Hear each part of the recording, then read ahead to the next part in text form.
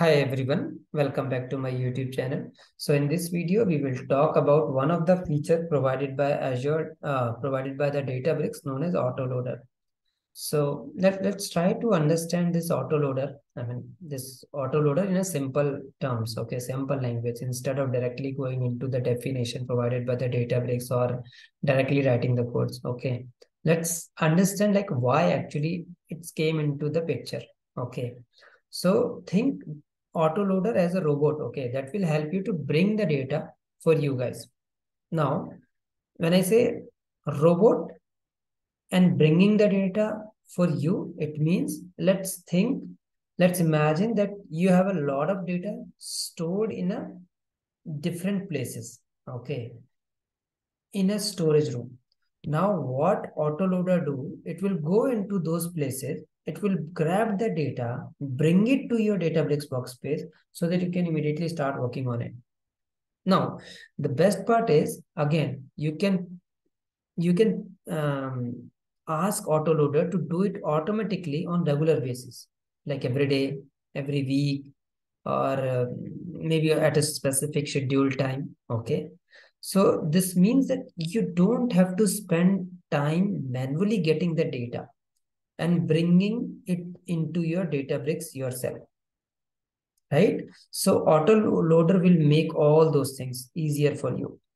So if we are, if you, now if you try to explain autoloader is, then autoloader makes the process of getting your data into Databricks easier and more efficient. It will save your time and effort so that you can focus on other things. Okay. I hope it is clear.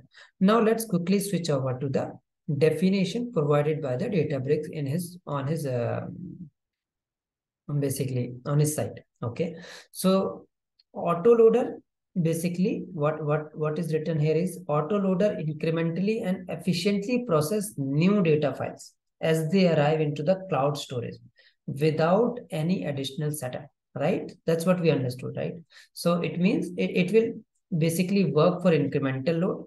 And if you see here, sorry, if you see here, on the first day, you will see that there are three files which are there into the raw location or maybe your source location and they process to the target location. Now the next day comes and the new files come into that particular location, the source location. So what autoloader will do, autoloader will check like which file comes and once it is able to identify that file, it will process that file to your Databricks workspace so that you can directly work on that. Okay.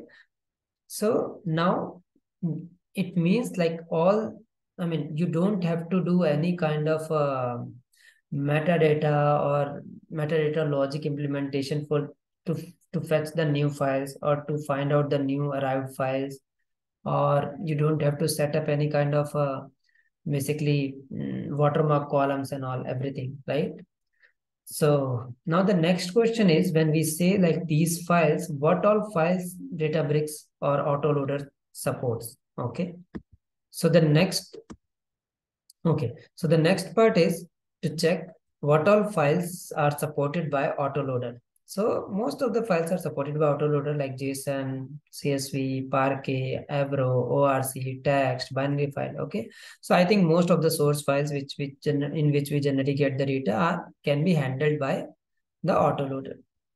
Let's move to the other next slide. In the next slide, we will we will talk about the benefits of autoloader. Okay. So when I say benefits of autoloader, obviously, which we discussed till now, right? It will smooth your process to getting the data into your uh, Databricks workspace. And you don't have to maintain any metadata, right? So that's what is written here. So no need to store any metadata to find the new files, okay? It will detect the new files on its own. Now, the next benefit is you can perform streaming data as well as batch processing, okay, based on your requirement. Now, the third thing is automation of data loading process, right? This, this is the same thing basically. But here we are talking about like how it actually identify which file has arrived, first of all. And the second question is when it is arrived into the cloud native component. So when I say cloud native component means a storage location. Okay, so we need to find out a way by which actually autoloader identifying like when the file came, okay, and when it has to process that file. Now, let's try to understand this with the two terms which are given, okay. The first one is the cloud files data reader. So when I say cloud files data reader, it means the storage location provided by the different um, service providers like Amazon, Microsoft Azure, and Google Cloud.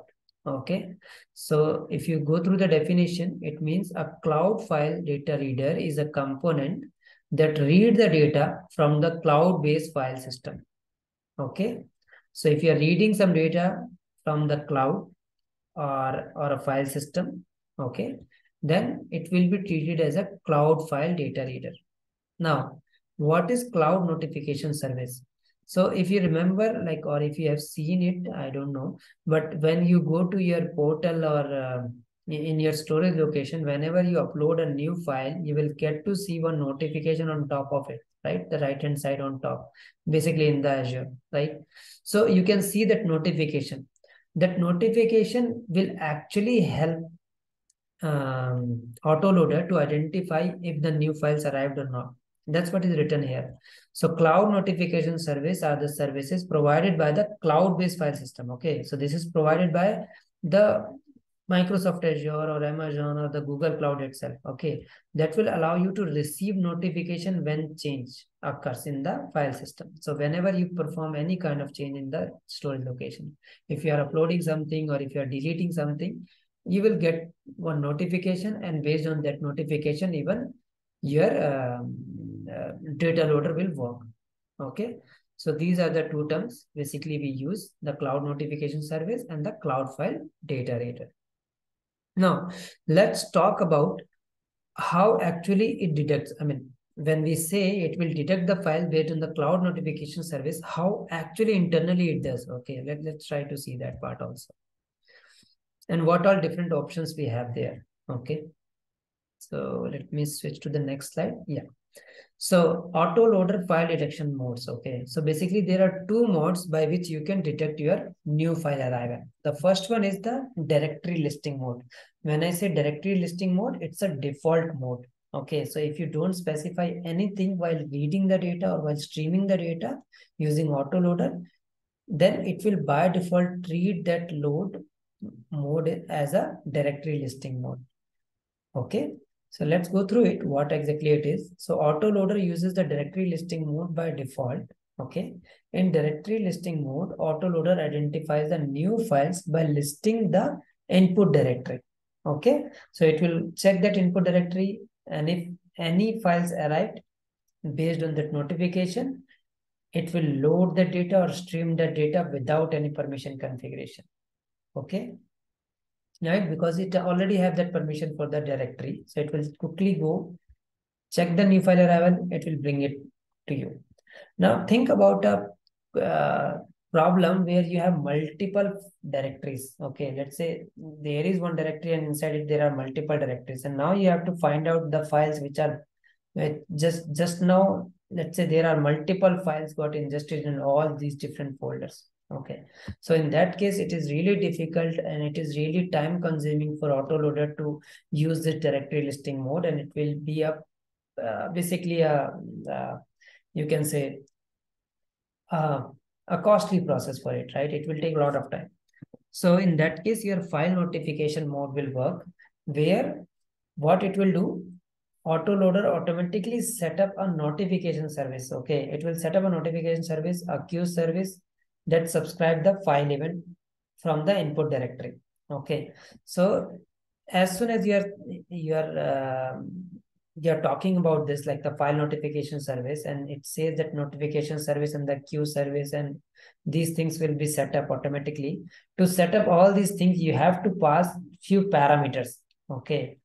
I'll i'll i'll, I'll go through those parameters. No worries maybe in another video but this video we will be mostly concentrating on the directory listing mode okay how we basically read the data automatically using autoloader now uh, now coming back to file notification mode, as I was saying that we need to pass some configuration like, like the subscription ID, tenant ID, or your storage ID or client ID. You have to provide all those informations as a part of option while declaring the file notification mode.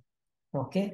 And based on those options, it will actually create these services on the fly you don't have to create it will create and based on those files those subscribe events it will identify what all files are placed okay so if you see here you can use file notification to scale autoloader to ingest millions of files in an hour right so if you are getting so many files like continuously then you should use the file notification mode right so I hope the difference between both of them is clear and when which one we have to use, you you might be aware now. Okay, you must be uh, un understood basically. Now let's let's quickly go through and see how we can basically stream the data into the Databricks using autoloader. Okay, so this is the code basically by which you can stream the data into the autoloader. Let's try to understand here. Now the first line is we are using the same thing, right? Read stream format, right? But here we are saying cloud files. So whenever you define that format is cloud file, it means the Databricks will understand that we are talking about the autoloader. Okay, because autoloader will treat all those files as a cloud file. Okay, now now it understood that it has to read as in a cloud file, but still you have to pass another option saying that what is the source file format? Now, the source file format is CSV. That's what we have uh, mentioned here, right? So it's a mandatory parameter or mandatory option you have to provide. Apart from this, if you don't provide schema location, it won't work. So you have to provide schema location as well. It will store your schema for the file so that later on it will use that schema for your uh, schema related things like uh, uh, schema evaluation and other things, right? And the, the fourth one is basically header, where we are saying header is true. It's a basic option which we generally use when the file is having headers, okay? And then the source data location, from where exactly we need to load that file. So this is how we can read the data using autoloader. So let me quickly switch over to the Databricks workspace and we will see how we can load that data. okay, let me delete all these. Let me clear this. Okay, so if you see, oh, great. Hmm. So the problem here is the SPN is, uh, okay, my cluster is terminated. Let me start this cluster. In meanwhile, I'll pause the video so that it won't waste your time. Yeah, so now the cluster is ready. So the first command here is basically to set up the SPN so that I can access the storage location. And if you see in this command two, I have set up few uh, few path. One is for source data location where I have one file to be processed in a sample file form in a sample file folder or container. Okay, basically the folder. So that's what I have passed here. The target one, which I wanted to create my, my Delta files. Then the checkpoint, which will be created by um, your Databricks itself. I mean to say autoloader itself. And then the last one is the schema location where it will be storing the schema for our future reference. Okay. So the third one is basically, let me run this command, sorry. And the third command will actually show you the file which I have already there and it's a CSV file as you can see. The name is merge sample data one CSV file. it's a very small file just for the demo purpose. And this is the code which I was uh, referring just now. Okay, so the first line, again, we are reading the cloud files since we are using autoloader. That's what's the identification of autoloader. Then we are passing everything as a cloud file, remember. Okay, so we are saying we wanted to process a cloud file format in a cloud file format, the CSV file. Then cloud file schema location, we will be storing at the schema location part. And then we are saying that the file is having headers and it has to be loaded from this source data location. So let me run this quickly. Okay, so what it will do, if you see here in my sample, uh, in my container, now I have one more folder called schema. And inside schema, we will see one file. It's a JSON file where it will hold the schema for the file. Okay, it will store the schema information related to the file. So that's what after reading the streaming, we'll get to see this folder. Remember, okay. Now let's try to write the file. Before writing, let, let's see basically how we can write the file. Let me go back. Okay. Yeah. So this is the code by which we can write the file or uh, in a delta location, right? We'll use the same logic, write streaming, which we use in structure streaming as well, format as delta. Then we are saying that we need a checkpoint location. This is the checkpoint location, which I will be passing as a path, right? And uh, if you don't provide this checkpoint location, remember it will give you an error because checkpoint location is mandatory while writing the delta table using autoloader. Okay. then we have a output mode where we have append. There are other modes also like complete, override, and uh, yeah. So there are other modes also. I can I can create a separate video on top that of that. But yeah, there are other modes also which you can use. And then we are saying start where? The target location. Okay, so it will start writing the data into this target location and it will create the checkpoints. Okay, so what checkpoint is, we will talk about it. So let's quickly see how we can run this write command as well. Okay, to write the data as in a delta table. using cloud. So if you see checkpoint location is not defined. Great. I have ran it. Hmm, okay, let me run it again. We'll see why it shows. I don't know. And let's try to run again. Maybe some issue with the, okay, spelling. Okay, let's try to run it yeah, so it started the streaming. And as, as soon as you will see, it will give you how much data it will read. Okay. Let's run it. It will show you till now how much data it already read.